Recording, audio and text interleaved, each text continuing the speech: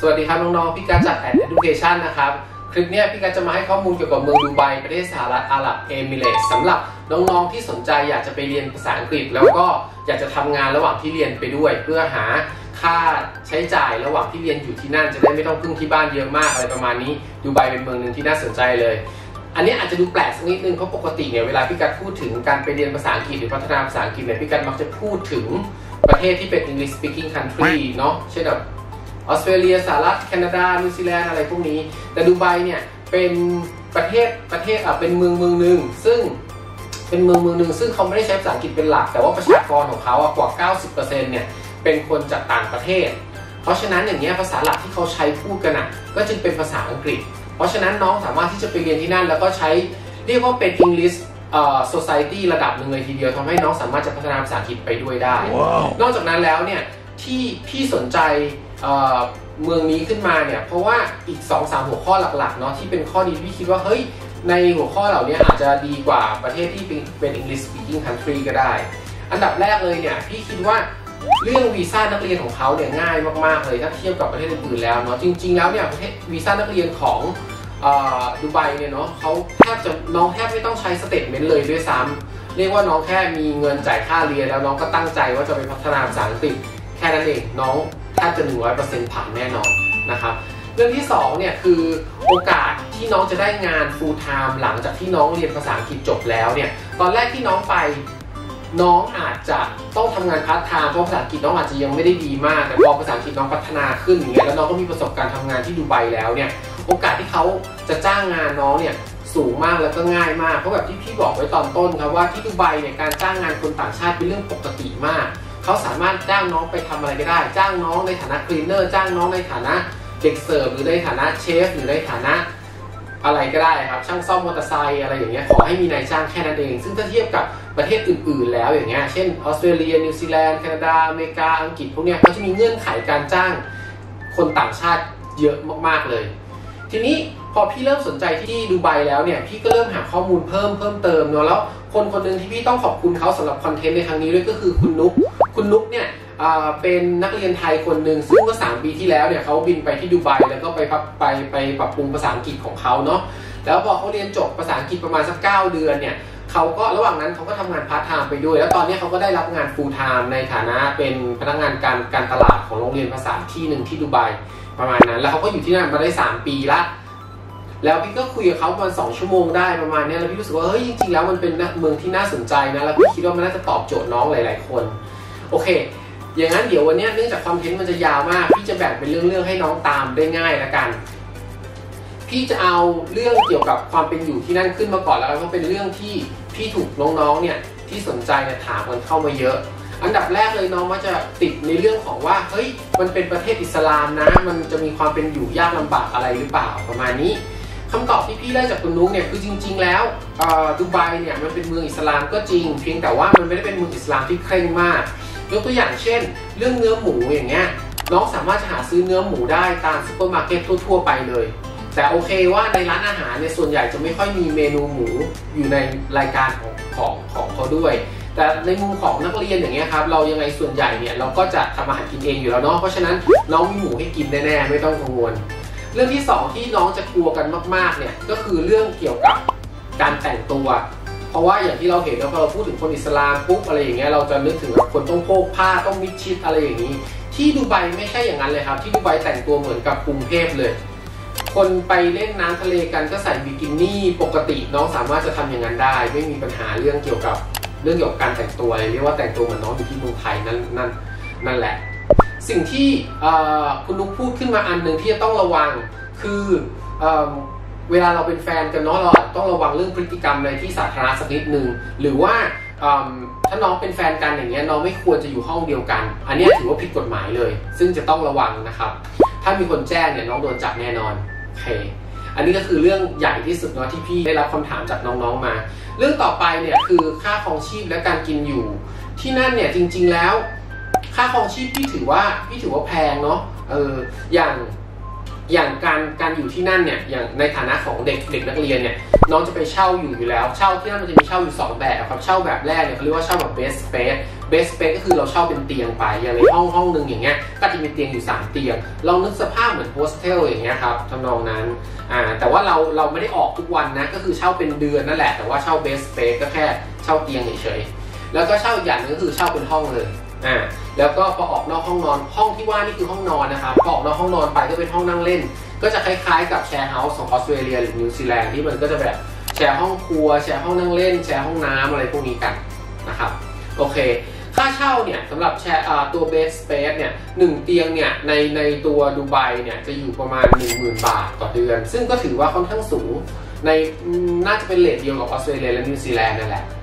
ในขณะที่ค่าอาหารค่าเดินทางค่าอื่นๆเนี่ยจะใกล้เคียงกับประเทศไทยมาก จะไม่ได้แพงขนาดนั้น แล้วก็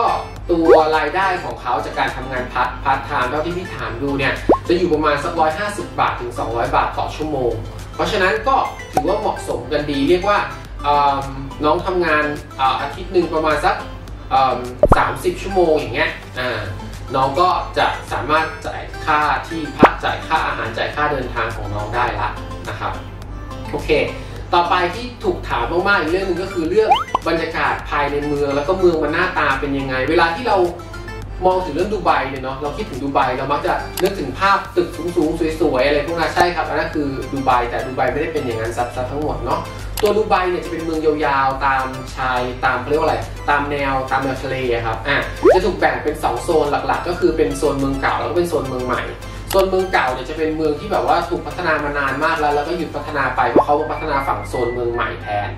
ภาพที่น้องๆเห็นในเว็บไซต์ในพวกสื่อโฆษณา เกี่ยวกับการท่องเที่ยวที่ดูไบอะไรพวกนี้ครับจะเป็นภาพที่ในโซนเมืองใหม่ซะทั้งหมดเลยอ่าไม่ว่าจะเป็นโรงแรมเจ็ดดาวที่เป็นรูป เรือใบ หรือว่าจะเป็นปาล์มวิลล่าที่มันยื่นไปในทะเล หรือว่าจะเป็นห้างสรรพสินค้าเขาเรียกว่าอะไรนะดิวดิวที่ฟรีใหญ่ๆ พวกเนี้ยอยู่โซนเมืองใหม่ทั้งหมดเลย รวมทั้งโรงเรียนสอนภาษาด้วย แล้วก็ร้านอาหารไทยต่างๆ ที่น้องอาจจะไปทำงานกันตอนระหว่างที่น้องเรียนเนี่ยอยู่ในโซนเมืองใหม่ทั้งหมดเลยนะครับ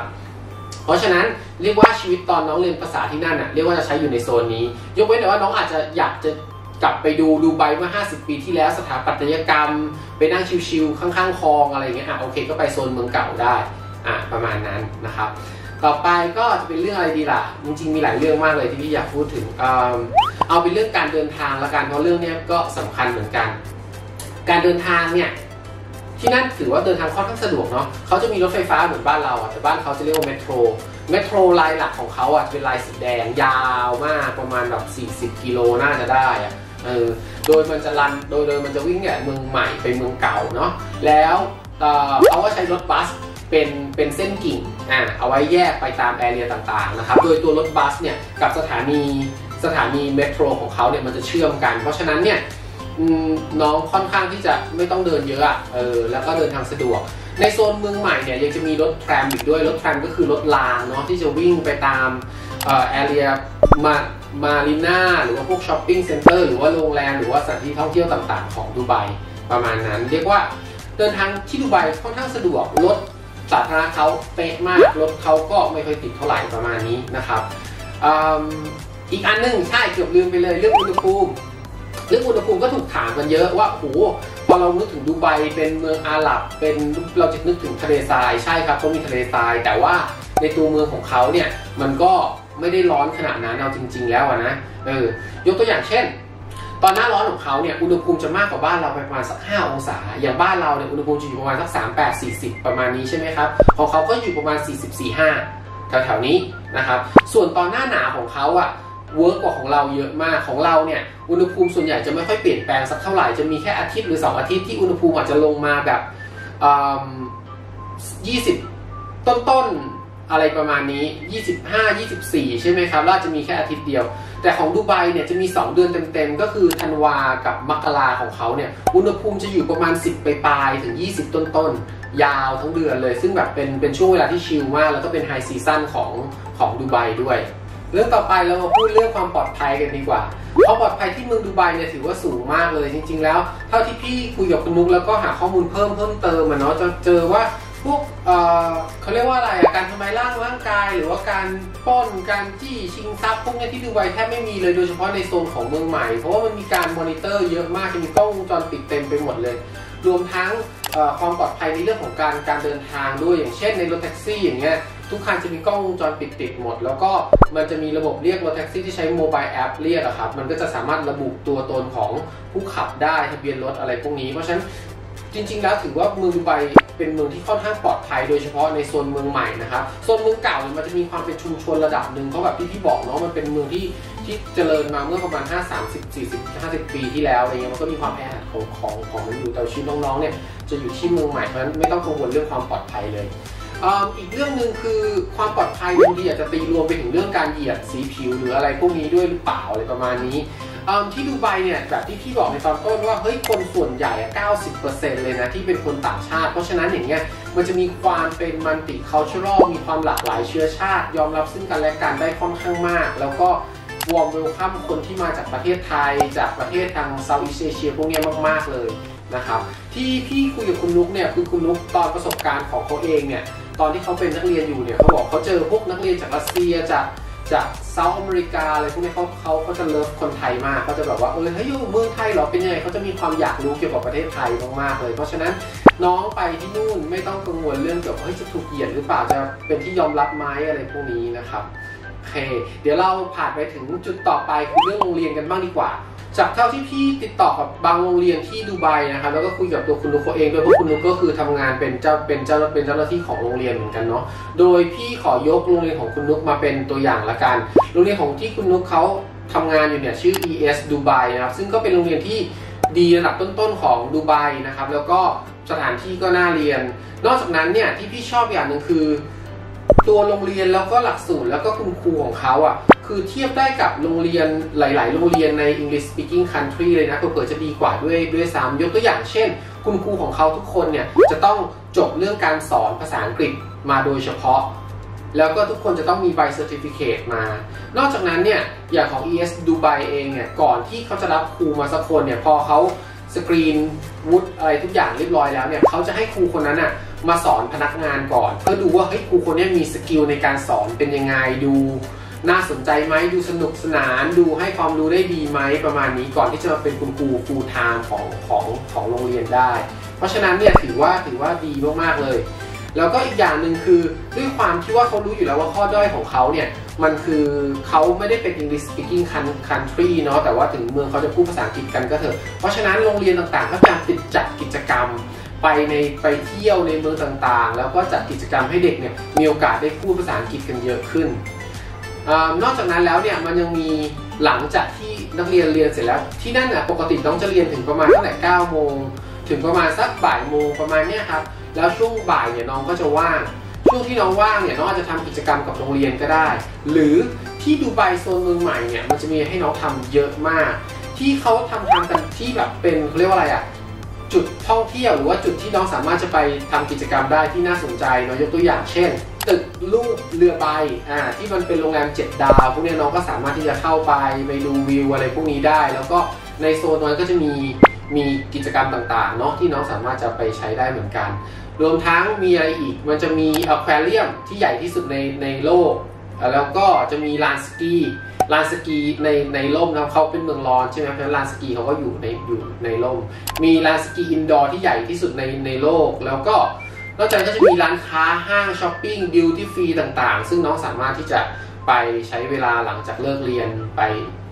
หาความสุขกับสิ่งเหล่านั้นได้นะฮะเรื่องของโรงเรียนเนี่ยอีกจุดหนึ่งคืออย่างตัว ES ดูดูไบเนี่ยก็จะมีคุณนุกเนาะซึ่งโดยปกติแล้วเนี่ยก็จะติดต่อกับพวก agent อย่างพี่เนาะแต่ในขณะเดียวกัน คุณนุกก็จะคอยช่วยดูแลน้องๆด้วยเหมือนกัน สมมติว่าน้องไปที่นั่นแล้วน้องมีปัญหาเรื่องการหาบ้านเรื่องงาน หรืออะไรพวกนี้ก็สามารถปรึกษากับคุณนุกได้นะครับ ถ้าน้องคนไหนที่มีข้อสงสัยหรือว่ามีคำถามเพิ่มเติมตรงพอยที่พี่ยังไม่ได้ cover ไปอะไรพวกนี้ก็สามารถที่จะ add LINE ID ของทางบริษัทเรานะครับ ข้างล่างถามกันเข้ามาได้ หรือว่าถ้าใครอยากจะได้คอนเทนต์ประเภทไหนเพิ่ม เกี่ยวกับเมืองดูไบก็ถามกันเข้ามาขอกันเข้ามานะครับ เดี๋ยวพี่จะทำให้ โอเค ไว้เจอกันข้างหน้าครับ สวัสดีครับ